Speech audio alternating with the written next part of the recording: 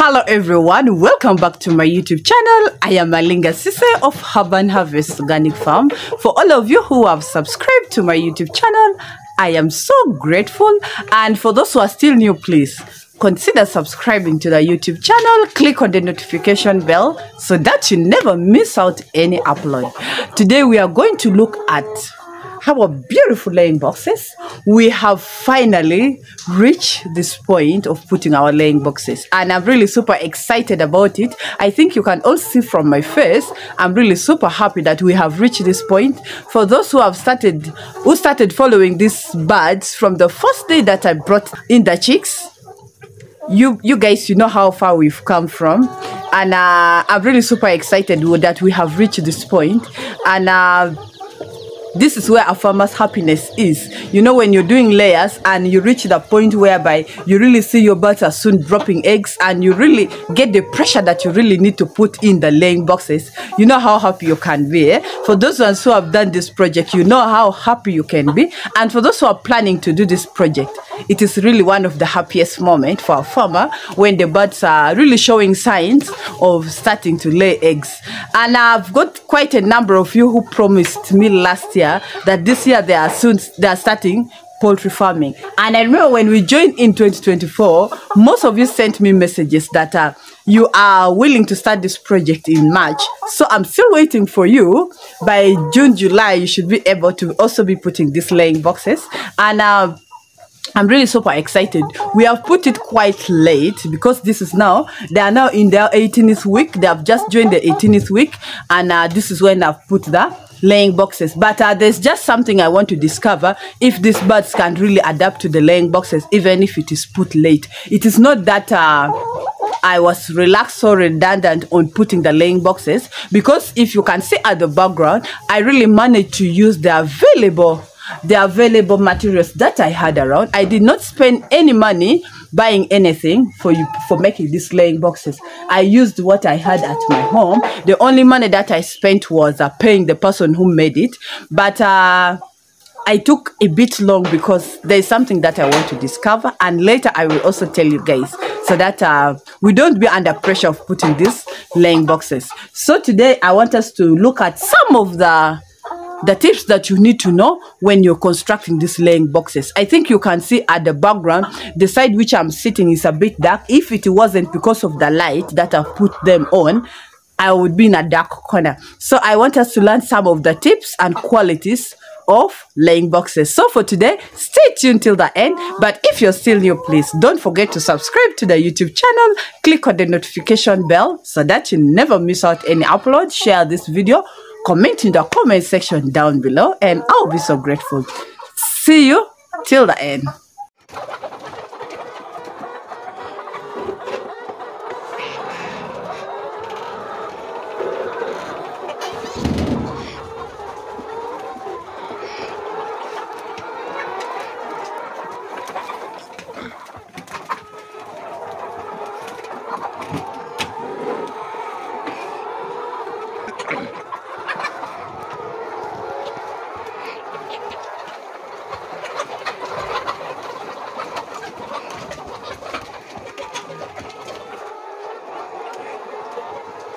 So, as I told you earlier on, today I want us to look at some of the factors to consider when making these laying boxes. As you can see my laying boxes, which the corner that I have put it, first of all, you must put it in a dark, in a corner which you see it is uh, kind of dark for the birds because these birds, they love laying their eggs where it is a bit dark for them. I don't know whether I think they feel comfortable laying their eggs or they feel shy laying eggs in an open place. So they feel comfortable laying their eggs in a corner which is dark. So you must make sure that where your laying boxes are is in a, a place where it is not too much which, which is not having too much light which is somehow dark. So i've decided to choose this side because uh, my light always come from this other side. So i feel like when i put it this side uh, it will make it it inside the laying boxes will be dark. And in fact inside the laying boxes are really so so so so dark.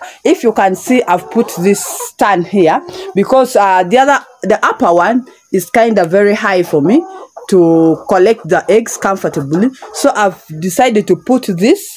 I'm going to just be stepping there and collect the eggs there comfortably. And do you know that these birds they can reach up to there so comfortably even you can see others are busy standing and chilling from there they have really been coming inside the laying boxes checking what is going on and then another factor is that uh, inside your laying boxes should be comfortable enough for the birds. So as you can see, I have 10 rooms.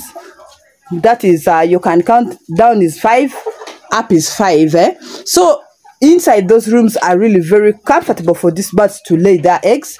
I've also put in coffee husk to make the birds comfortable there when they drop the eggs. And also the birds should be able to drop their eggs in a soft in a soft place. So that is why i've put here two bags of coffee husk. And uh, inside it is really very very comfortable for the birds. And this also makes our eggs really very clean. Because if you don't put in the bedding inside there you will find that the birds will drop their eggs in a hardwood and uh, the eggs will end up cracking. Or even uh, they'll they'll also do a lot of poo poo there. Then in the eggs you collect the eggs when they are very very dirty. So you must make sure that inside the laying boxes are very comfortable with the comfortable beddings which when the birds drop in the eggs they will drop in a in a soft it will have a soft landing and in a in it will come out when they, they are still clean and then um when you're making your laying boxes make sure you make it in a way that uh, it is easy and comfortable for you the farmer to collect the eggs because uh, if it's not comfortable for you you know eggs are things which are very very delicate eh? anything slight happening to them they crack they break so uh anything knocking you you find that your eggs will fall down and break immediately. So you should make sure that the the place where you've put the you should make sure that it is very comfortable for you the farmer to collect your eggs from your laying boxes. That is why i decided to put this this board here.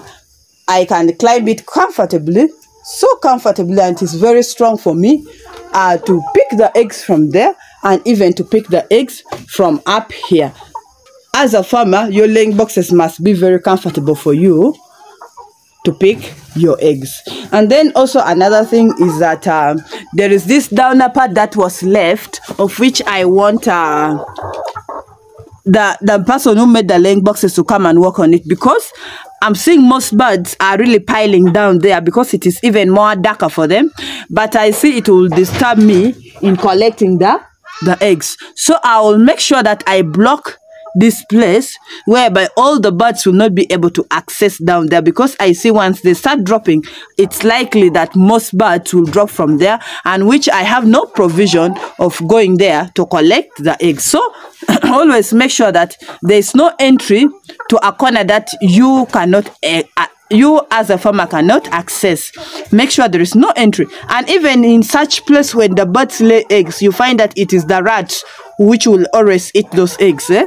because uh, I still I've still seen some stubborn rats that can access entering this farm from some some narrow corners. They are still coming inside. So either the eggs will get spoiled from down there or these funny rats will be the ones to eat the eggs. So i'm going to make sure i work on that and um and and i and i block that place and then also another factor that you must consider is that um, the laying boxes should be enough for all your birds. Now, like for us here, we have 400 birds, but if you can see, I have put 10 compartments and they are all very big and I'm very much sure that uh, it's going to be enough for all our birds. Well, these birds don't lay at the same time, but most of them will be laying in the morning hours, but uh, the ones we have put, I'm much sure that it will be enough for this for these birds. So please, whenever you're making your laying boxes, don't be mean to make a very,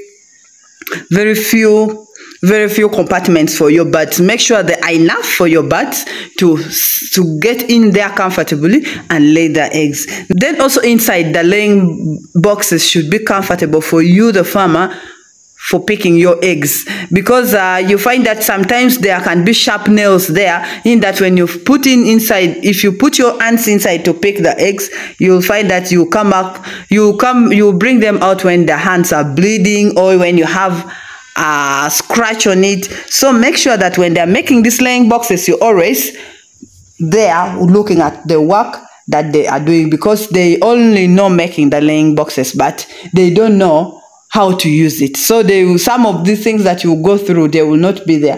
Actually, you don't even need to go to the workshop for these guys to make for you these laying boxes. You should make it from home. Now, like mine, I really made them from home here. I called the guy home because uh, I couldn't manage uh making it by myself. So i called the guy home and i was there monitoring him each and every step. Actually i'm the one who directed him on uh, making it the way i've made this one. So make sure you're always present and uh, you don't really need a lot of money to make these laying boxes. Always use the available materials. Now like me i use the available materials which i had here at my home to make these laying boxes. And um make sure the birds can also access the laying boxes because as you can see i've put for them this uh this other part that they can jump in and first stand there observe what is going in then they enter inside.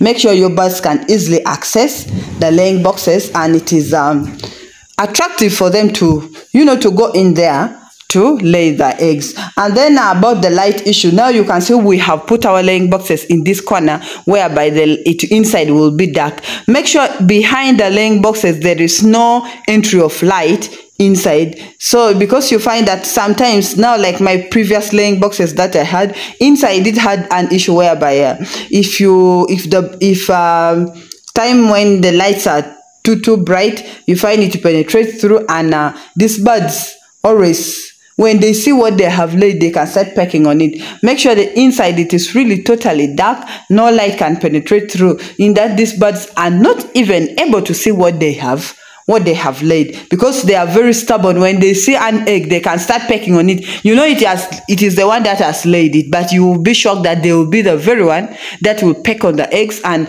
before you know it that is how they'll start eating off their eggs. So um for today that is all i had for you but uh, you really don't need uh, a lot of money to make these laying boxes. And um, as a farmer if you see your birds um, starting showing some of these signs you should be aware that uh, you should make these laying boxes. Well our birds here uh, are, are really due to laying eggs because uh, we might not miss this week without getting at least an egg or two. But uh, if we miss this week probably next week. So as you see some of those signs of uh, the birds um, really getting ready, really getting ready to lay eggs, always make sure that you put the laying boxes ready for them to lay their eggs. So for today, that is all I had for you.